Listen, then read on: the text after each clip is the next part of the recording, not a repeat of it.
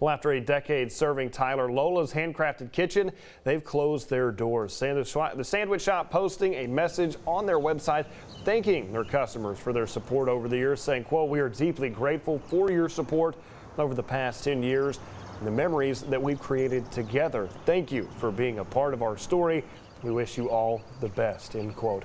The closed location was located on South Broadway, serving salads, sandwiches, brunch, and more.